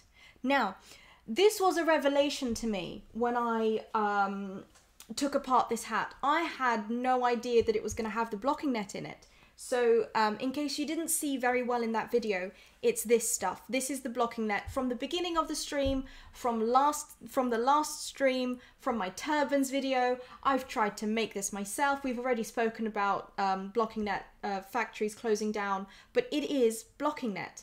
Um, it's slightly thicker than this one. This one is very, very fine. The blocking net in the other one is a thicker is a thicker strand and a diagonal weave, uh, a, a diamond pattern even, whereas this is a hexagonal pattern, but it is blocking net. And you might think to yourself, why bother putting blocking net underneath straw. Well, straw has a weird tendency, and um, this this this isn't kind of anything new or anything old, or it's it, it's just how straw is. Because of the way stiffeners work, chemical stiffeners, and even not chemical stiffeners, straw reacts in a funny way to chemical stiffeners. Um, so what I've noticed is is that when I cover a felt hood in a chemical stiffener, the chemical stiffener gets absorbed into the felt and then you steam it and it activates it and that's how it becomes stiff and it's inside the fibers. With straw, because straw is quite shiny and it's plaited, it's woven, there's nowhere for that chemical stiffener to go into. There's nowhere for it to seep into. So it's going to sit on the surface. And you can either choose to block your straw and cover the top of it in stiffener, which can result in a bit of shininess, or you can try and stiffen your um, your straw hood on the inside by painting it on and then blocking it, and then you kind of risk most of that chemical stiffener coming off onto your cling film on your block um, because you've steamed it and the stiffener has just kind of gone and dribbled down. So yeah, so straw and stiffener just Mm, and be that PVA stiffener or chemical stiffener, it, it's just always going to sit on the surface that you paint it on. So if you don't want to have a shiny straw hat and you don't want to risk having a not very stiff straw hat, you would create a blocking net foundation for your straw and then block the straw over the top of that over the blocking net and that's going to give you that extra little bit of stability. In fact i actually tried this in a hat that um, i was working on and then i just kind of got depressed about it and i left it in a cupboard. So maybe um, if my husband is available to come and get that hat i should have prepped it out of the cupboard. It's it's in the living room if you'd like to come and get it for me husband so i can show everyone blocking net on the underside of a straw and how that works it's in that cupboard there in the bottom. And I'll tell you which box it's in. It is uh, that black hat box that you bought me flowers in. Yep, just that whole box. Just give me that whole box. Oh, thank you. Okay, so let me show you close up what I mean about blocking net and straw. Here is the hat. This may never be released as a video, I'm afraid, just because I got a bit depressed about this design. But um, we don't have to look at the design, we'll just look at the um, what's going on here. This is some straw. Uh, this is what parasisal looks like. So it's got these four lines and then it, it weaves. What you can definitely see is this is a, a, mo a more modern parasisal and this is a vintage parasisal. In fact, this might even be called parabuntal and parabuntal is when it's even finer and you definitely can't get it anymore because the way parabuntal used to be woven is um, by small children. And um, for obvious reasons that is not ethical so we don't get parabuntal anymore. And frankly in this case thank goodness that we don't get parabuntal anymore because i would not be comfortable working with materials that have been woven using child labor so anyway, that's that's the size difference, but um, the weave in itself is the same. You get these kind of little um, kind of chevrons in it, and that's how you know it's parabun uh, parasisal. So para two a two times weave. But anyway, that's the straw, and then on the other side underside here, I've got some um, blocking net. What you you can see, I kind of ran out because I was using scraps of my um, stash that I had and this is a dyed blocking net. I dyed it the same color as the hat so that it would blend in, but you can still see it obviously. So um, this is a bit without it, this is a bit with it. And if I just push in with my finger, look at how much that pushes in there at the side. And then I'm going to do the same over here. You can see I'm pushing in, you can see it moving, but it's nowhere near as flexible as this straw. So that's what blocking net does when you use it with straw, which I think is fantastic because Sometimes you want a really stiff straw hat. So there we go. That's that one. And if you want to learn more about this particular hat by Edna Wallace, go and have a look at my video once the stream is done. so my last straw hat, I don't have very many straw hats. Um, I think I don't tend to wear straw hats that much, even though I really like them. So my aim for the next year is to build up a more of a straw hat collection for myself, but also for sale, but mainly for myself. So I've got this little straw hat. Now I like to wear this straw hat when I go on holiday because it travels really well. It's tiny. I can just pop it on my head and it doesn't get in my way. It's kind of head sized, but not really. It's just very easy to wear. It goes with everything. So this is one of those vintage hats. So we were having the conversation earlier about does a calot half hat work with jeans and a t-shirt? Well, this does um, because I've worn it to go down to the park and play some badminton. I've also worn it to go into central London and have a walk in a fancy dress walking around Trafalgar Square. Um, I just really love this shape. I think it's great. I've taken it on many dance holidays with me. So when I used to go dancing, when we used to travel, um, I would take this with me. And then I'd be wearing it to and from venues, just to, uh, going around touristy places. I wouldn't wear it while dancing, although I'm sure it would probably stay on my head if I did. It's quite it's quite sturdy. Um, and what this is, this isn't a um, a straw like th- this isn't sisal. This is, I think, this is Racello. I'm not actually too sure what Racello is, but it does feel a bit kind of plasticky, like a kind of um, what's the word I'm looking for? Kind of um, wood pulpy, viscosy. I yeah, I don't think this is a plasticky one.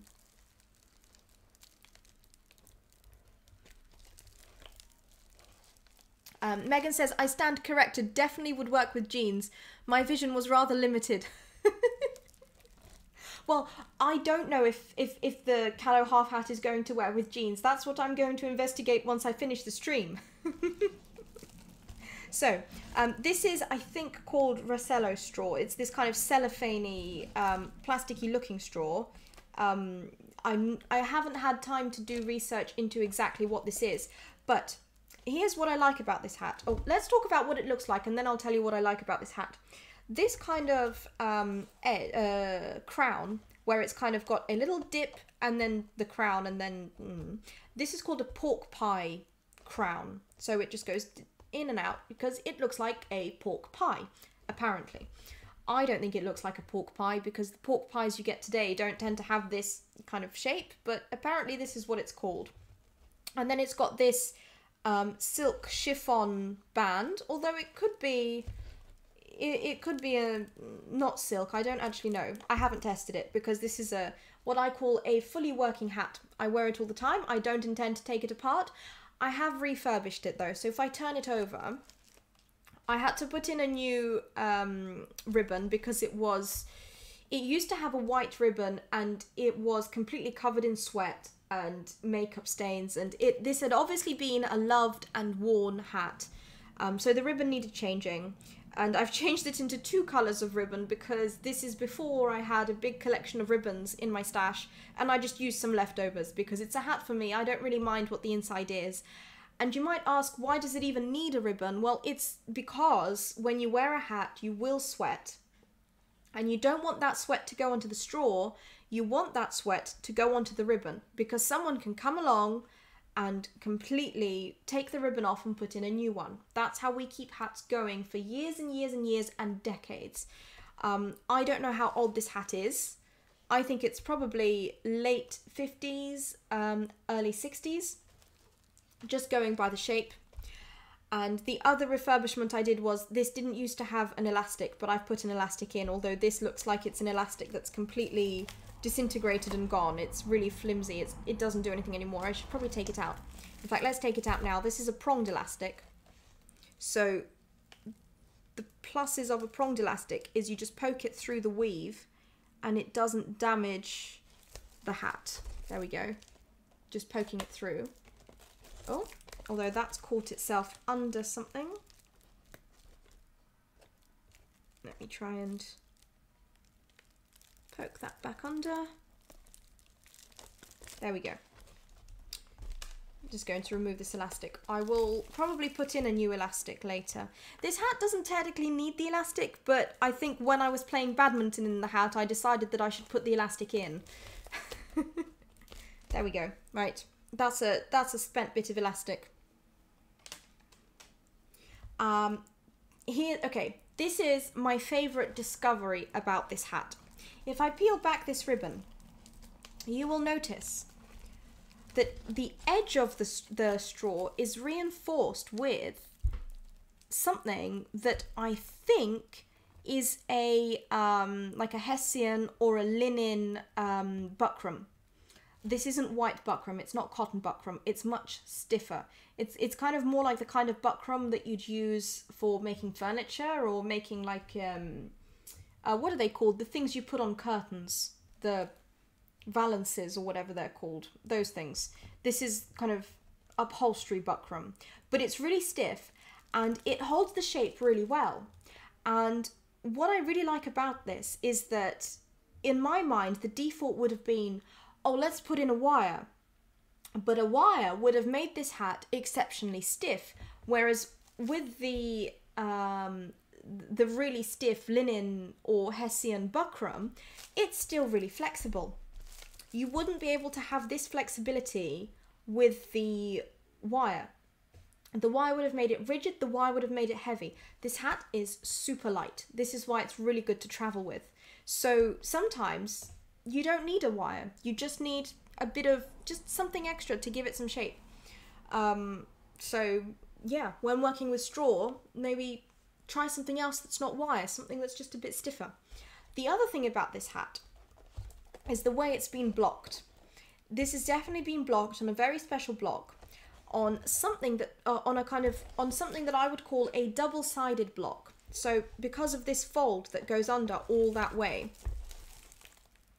it's it's been blocked on something where the block made it possible to do that.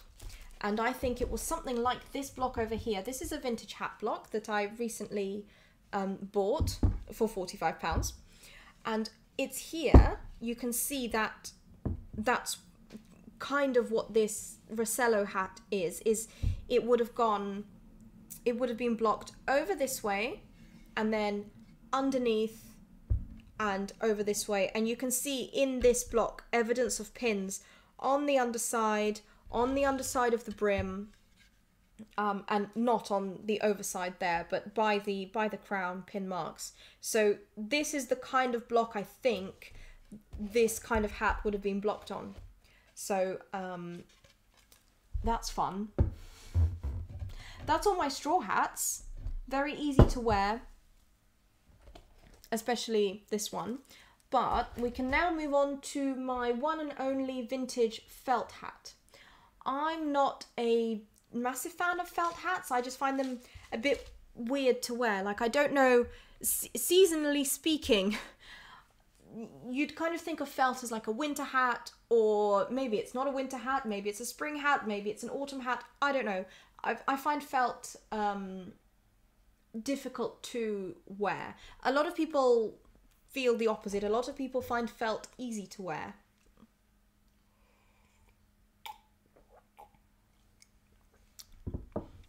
Right, let's have a look at this hat. This hat is rather special. Um, so there's there's two ways you can wear this hat. So once again, you know how I say, um, you know, don't be a slave to the block. Make the block work for you. I feel the same about hats in general. Um, who is anyone to dictate to me what is the front or back of a hat? I will wear the hat however I want. So technically, this is the back of this hat the um, designer of this hat, Madame Paulette, would have preferred me to put this at the back. But I think that looks a bit weird. I like the fact that um, this has given me some height in the in the front. This is also known as a skull skull cap shape, so you can see it here. So technically, this should have been the front. And I think it would have been kind of worn like this. What do you guys think? Front or back? Which way would you have worn it?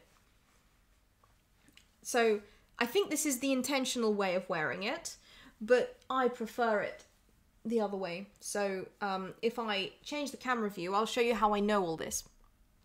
So I have refurbished this hat. This hat on the top, beautiful condition. Look at this. It's got these little pearls. It's got these little crystals. Are they AB crystals? Yes, they're kind of AB crystals. And I'll talk about the crystals in a second. I love crystals. I've got some here to show you. Um, and then it's got this kind of lurex um, honeycomb net over the top of it as well, which is absolutely lovely. This is definitely a hat from the um, mid to late 50s. Michael says, backwards is best, you're right. I know. Thank you. Um, but again, that kind of shows that when you buy a hat or you buy a hat block, don't limit yourself to what you think is the intended way to use something.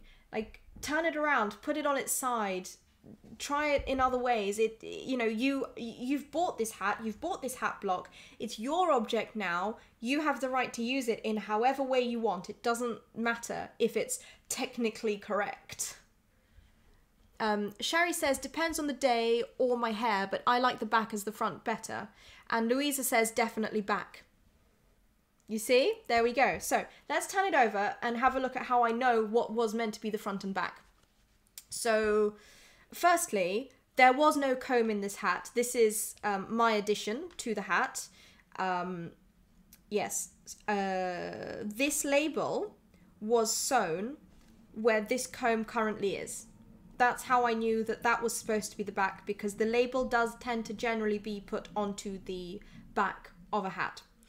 Um, and then I've also added in an elastic because I usually wear this hat not with my hair down, but with a bun. And then I like to take this elastic and wrap it around the bun to really anchor the hat on my head because I have worn this hat dancing. In fact, there's a video of me dancing wearing this hat. Um, Matthew, if you find on our dance channel the video of you and me at the Spiegel tent where I'm wearing a black dress, and I think we're dancing boogie woogie, I think or very fast Balboa. Post that into the chat. I think people will um, find it interesting to have a look at how this hat moves when it's on the head, or rather doesn't move because I've really anchored it down using this and the comb at the front. Now this comb isn't covered in anything because this is before I figured out that it was much easier to sew a comb in if you bind the comb in something. So like I had done in the Edna Wallace hat this is a comb bound in a piece of velvet. If I was to re-refurbish this, I would take this off, bind the comb in something, maybe just a Petersham ribbon, and um, put it back in. In fact, what I would really like to do is change this Petersham ribbon. Look at how grubby this is. Oh, this has been a well-loved hat, and it was this grubby before I got it, so I would like to change this. And in fact, I've bought some vintage Petersham ribbon, which I think would be perfect to put into this vintage hat, so that I'm kind of keeping the materials from the same decades.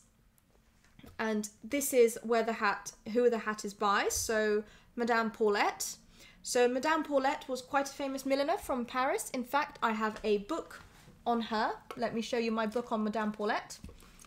I haven't read this book yet. I bought it because I want to read it and I haven't had the time. Oh, it's stuck. Here is my book. So this is Hats by Madame Paulette, Paris Milliner Extraordinaire by Annie Schneider and forward by Stephen Jones, published by Thames and Hudson. So I don't know whether I can recommend this book yet because I haven't read it, but um, maybe if you've read it, let me know. It's really beautiful. She was known for her turbans more than anything else. But these turbans are kind of from the um, mid 40s onwards. So that's that's all of these are older works by her. So this kind of thing. So this says 1942, this turban. Oh, that's quite a famous image of um, the model Jean Shrimpton wearing a horsehair hat from 1963. Let's see if I can find some kind of 50s looking hats. Oh look, she's uh, Audrey Hepburn wearing the um Oh, so Madame Paulette made these. Oh, you can't quite see them. There we go. From My Fair Lady. So based on drawings by Cecil Beaton, but apparently Madame Paulette made them. So that's one of those cases where the designer is actually different to the maker. And I, I would like it if they credited makers more in, in film and movie credits because I'm I'm actually interested in I, I want to know more about who made the hat rather than who designed it. But that maybe that's just me. Oh look, there's some um I think that's maybe some Racello braid or maybe it's just tiny bows in that one.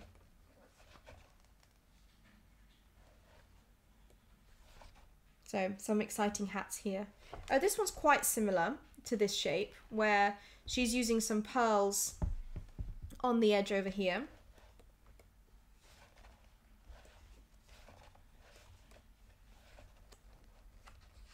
There's another skull cap there with some more diamantes. Clearly something that Madame Paulette enjoyed working with. So um, let's talk about these crystals then. Oh, actually, no, no. Before we talk about the crystals, let's finish talking about the actual hat. So, what's interesting about this one? I mean, yes, it's got a wire here, and I love how the wire is joined. Look at this. Can you guys let me zoom in? This isn't the best. I should have maybe used a different lens today, but look at this. This is joined using these absolutely delicate crisscrosses. Isn't that amazing? What fine work. And this is a very fine wire. This is definitely less than a one millimeter wire. I normally wear, um, I normally use a one millimeter millinery wire, and this is thinner than that. Maybe this is 0.8 millimeters.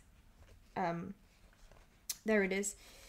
So it's going, it's going all the way around there. It's going underneath here. The uh, Lurex netting is kind of is trapped under the Petersham ribbon. And then these wonderful folded and draped bits of felt, they're held in place with some stitches on the inside. This is definitely done by machine. This is a this is a chain stitching machine. So you can always tell when it's chain stitching because it's got two threads on the back and a single thread on the front. That's how you know it's chain stitching. And I think this would have been kind of shaped and molded by hand. And this is a very special type of felt. Um, I think this is um, rabbit fur felt, but it's also known as tissue felt. And tissue felt is very, very thin. Look at how thin this felt is. This is a lot thinner than modern felts. It would be very difficult to find a modern felt in this thinness. And what this kind of thin felt allows you to do is it allows you to get these drapes in by hand because it's so moldable. I have worked with a tissue felt once before um, during a class I did, and that's the only time I've worked with a tissue felt, and I would love to find it again. It's just like butter. So if you think of working with um, uh, fur felt, modern fur felt, and you think that's really pliable and easy to use, this is even more so. Anyway, and then it's got this knot here, which would have been very easy to do out of the tissue felt because it's just so thin. But it still holds its shape beautifully. And what I really love is that it's stamped here by the felt maker. So it says fur felt, body by Mallory. Oh, and it's got cat hair on the inside. because everything I own is covered in cat hair. But um, that would have been a vintage factory that produced this felt and then stamped their maker's mark and then Madame Paulette would have put in her label. But in fact, this actually says authentic reproduction Paulette by Les Serre. Um, I think that's how you would pronounce that. Please excuse my French. I have to really warm up to do proper French, and my throat is just is just not up to it at the moment. I can't get those R's going properly. Um, so what this would have been is this would have potentially. I think this is how this would have worked again, I'm speculating because um, I don't quite. I'm, I'm not so confident in in this kind of history, but I'm speculating this would have happened by piecing together bits of knowledge I've heard here and there. Is that this would have been designed by Madame Paulette, and then the design could have been licensed for reproduction to Les and then they would have manufactured and sold the hat with Madame Paulette's permission, hence why her name is in the label. Um, so that's an interesting piece of hat history here. Let's talk a bit about these crystals. Um, oh, Uh, Megan says the shape of the Madame Paulette felt hat is all through the 1945 counter pattern catalogue Olivia the Closet Historian reviewed this week. Okay, um, I will look into that. And Megan also says worn with the bow at the back. Oh, really? Ah. 1945. Okay. So I think what you mean is this actual hat model, right? Okay, I'm really going to have to look into that. That's exciting. Um, I mean, you could you could share my uh, my live stream with um, the closet historian and tell her that I have the actual hat. um, let's talk about the crystals. So I really like crystals. Um, there's lots of different types of crystals. So let me take you through some types of crystals and then I think it'll be the end of the live stream. So these are crystals by um, Pracocia. These are SS20 crystals. Um, so these are just plain crystals. They do not reflect light in any way other than just reflecting light. I'll show you what I mean by that in a second. I'll just take a couple out and then I'll try not to confuse them with all the other ones. So SS20 is the size. Here are these crystals.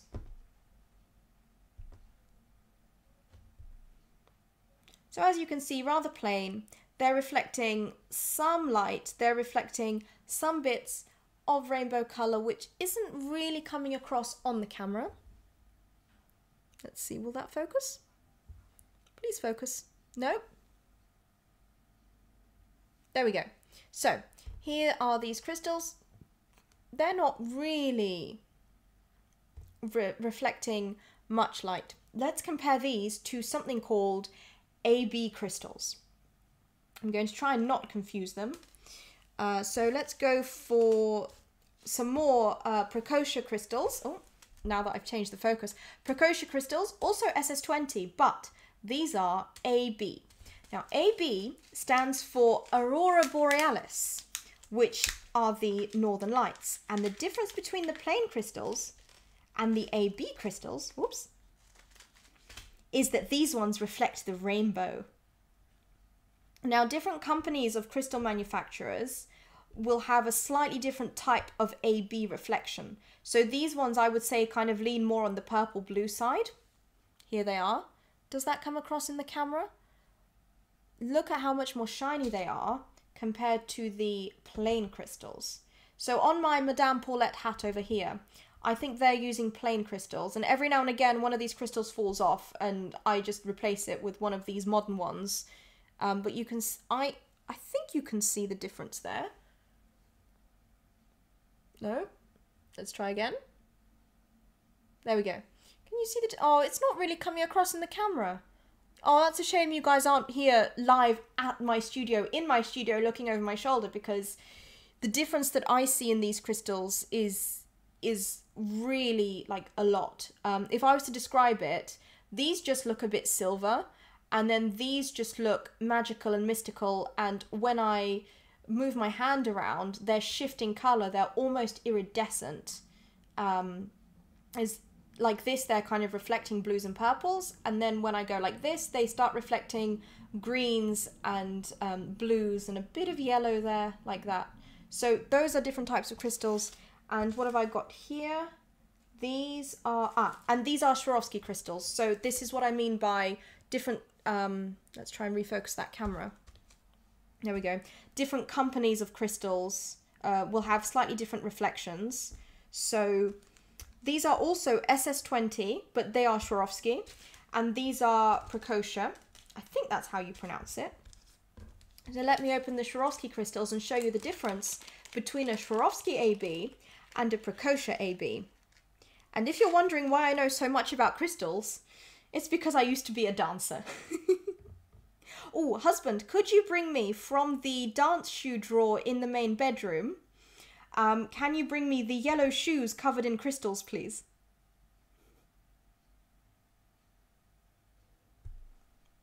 So let me try and not mix these up. This is this is the Swarovski. Okay, everybody remind me that uh, the Swarovski crystals, whoopsie, are on this side of my hand. I'm just going to move them all over here.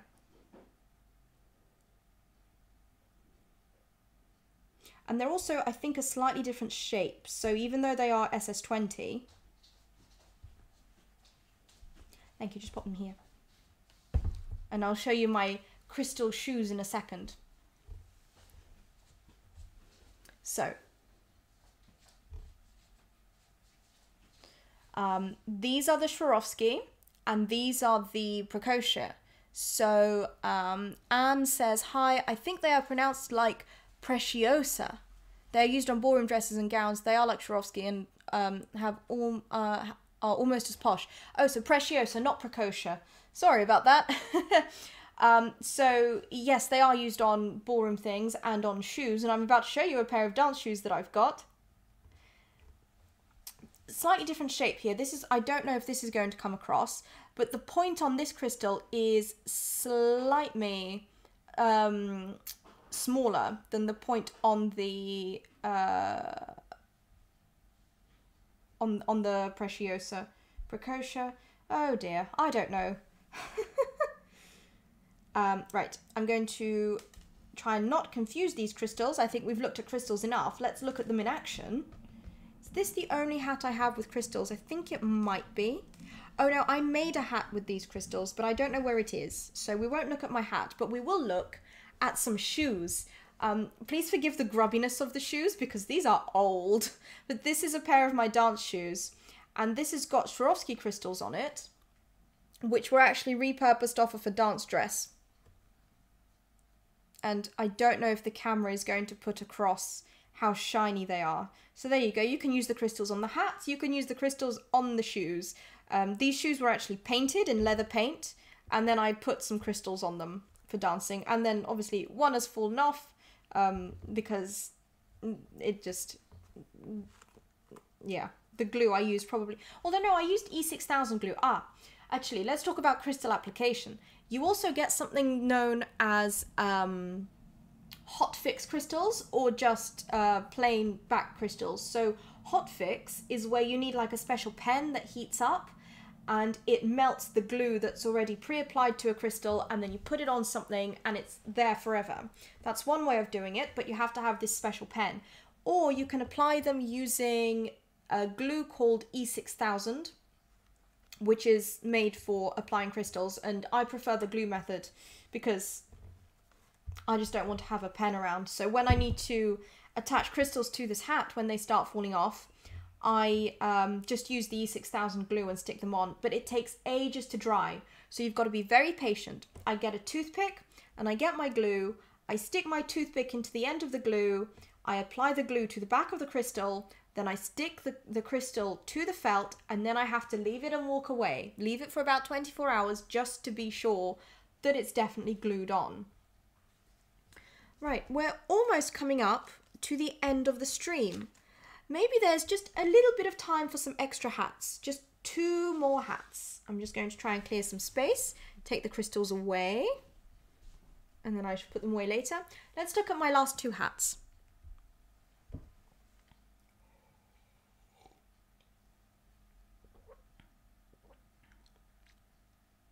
Anne says, Rumor has it that Swarovski are stopping making flatbacks, so Preciosa will be the new standard.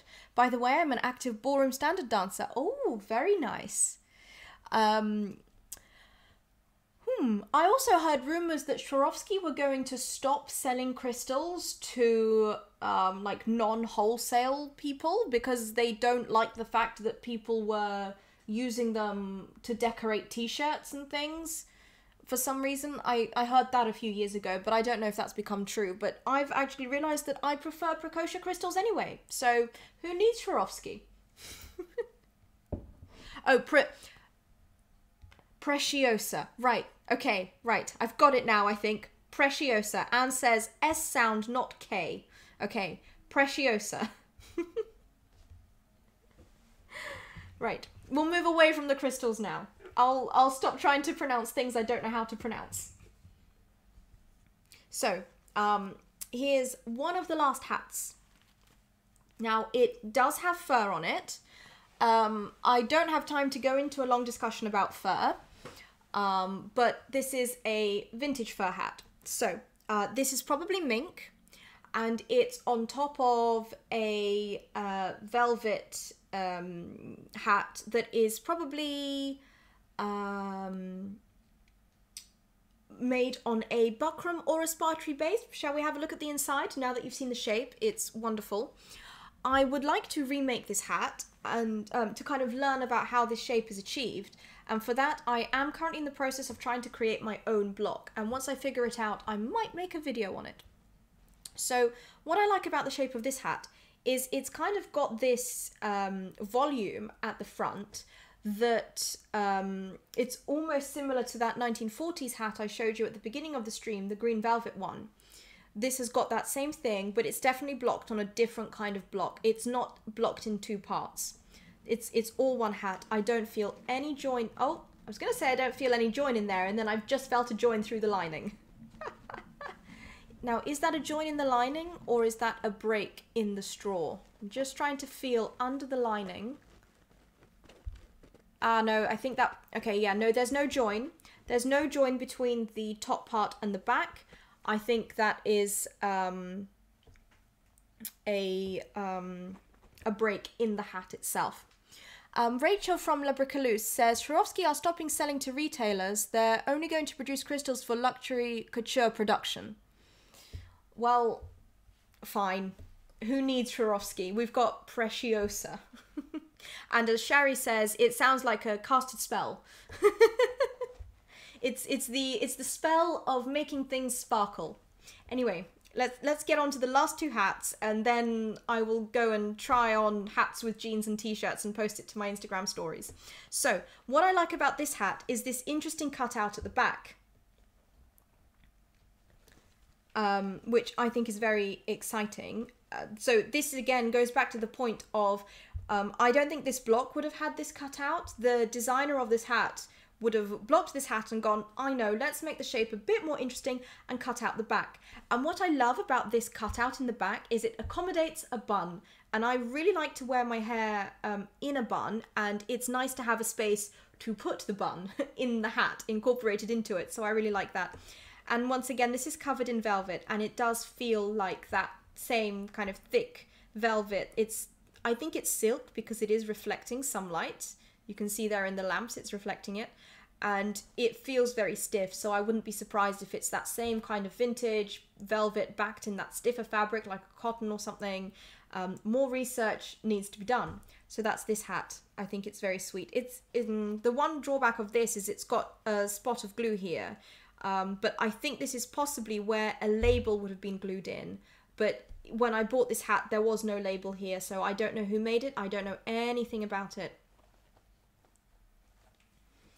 Um, and this is the last hat I've got for you today, and this will kind of bring me into the topic of the video I'm planning to release next week, which will be about wireframe hats. So this is a wireframe hat. If I turn it over,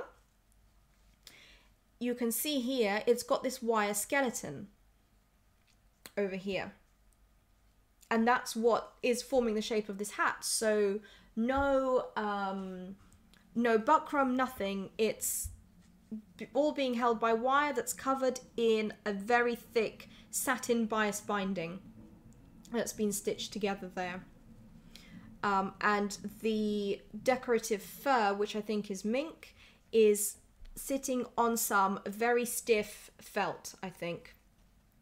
Um, or oh wait no what am i talking about oh yes no it is it is there's something here i think it's some felt holding the fur on the top and then it's got these satin bows covering um, just a few bits of the wire skeleton that you can still see um, now, this hat is a refurbished vintage hat. It wasn't refurbished by me, it was refurbished by the milliner who I bought this from. And she told me that she bought this hat in Chicago. So, this is a hat all the way from America and it has this veiling on it, which the milliner who I bought it from said um, it had some silk veiling on it, and it um, had completely disintegrated, so she replaced it. But I'm actually tempted to take the veiling off because I'm I'm not sure about veiling. I don't feel too comfortable wearing veiling. Let me pop this on my head. So it, this would sit like this.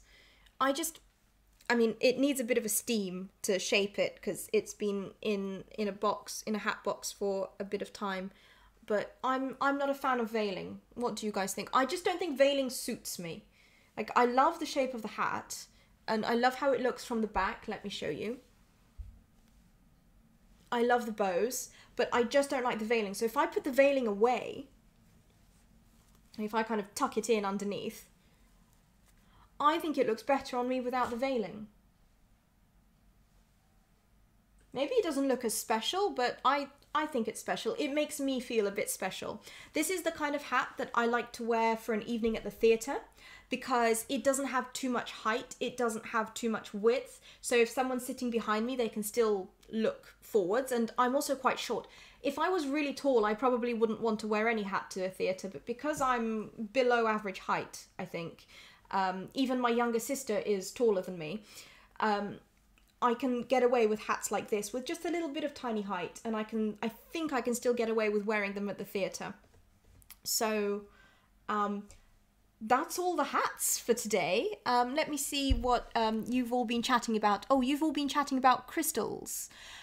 Um, Rachel says they've told all the buyers for theatre costume production houses that we can't get them even in bulk anymore. Um, and then Rachel, you said that's a beautiful hat. I think that was referring to this hat right here. Um, and then Anne said, "Thank you. I think the girls at the studio will appreciate the info." Yes, I'm guessing at your dance studio. Yes. Um, and Rachel says, You're welcome. My manager is looking for what the best new source for flatback rhinestones will be, and I will report back once that's been determined. I think Anne was saying that Preciosa um, was was pretty good for flatbacks. So um, we were talking about that, I think, just before you joined, Rachel. Um, but that's all my vintage hats, guys. Whew. I think we've managed to fit all this in into just over two hours, so perfect. My throat is just about still intact. I hope you guys have enjoyed today's stream. I've definitely enjoyed showing you my um, collection of vintage hats. Um, is this is this maybe streams like this? Is this something you guys are interested in? In just looking at the kind of hats that I have? Um, I mean, this is literally all the vintage hats I have, but maybe we can have a look at um, some older hats that I've made. Maybe some hats that I made first on my millinery journey and how I would maybe, I could talk about how I would remake them if I was to make them again with the knowledge that I have now, five years on. I don't know if that sounds interesting to you guys.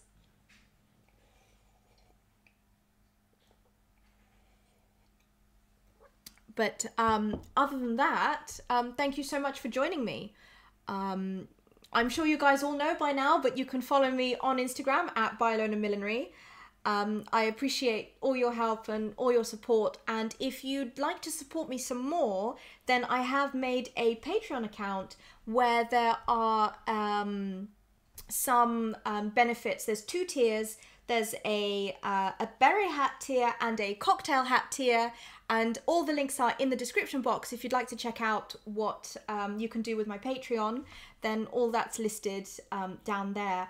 And if you uh, would still like to support me, but Patreon isn't for you, then please consider leaving me a tip on Ko-fi um, all your contributions go towards the video production side of things because um, videos are expensive to make.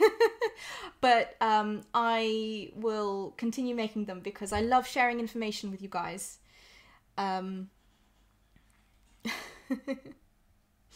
Oh, lovely messages in the chat. Oh, and I, I really like doing the live streams because you guys can communicate with me, so that's fun. Um, so I think that's everything, and I think it's time for me to sign off and go and have my dinner. So, thank you so much for joining me. Don't forget to have a look at my Instagram maybe in a couple of hours where I will see if I can put together some modern looking clothes with some vintage hats to um, tie into some of our earlier conversations. Um, and thank you so much for watching. Thank you for listening. Thank you for all your support. See you next time. Bye.